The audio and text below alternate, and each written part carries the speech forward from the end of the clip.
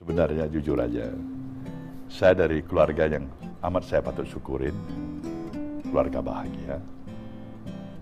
Saya mengenal kasih sayang yang diberikan oleh orang tua. Itu amat saya syukurin. Saya tumbuh dan dibesarkan dengan kasih sayang.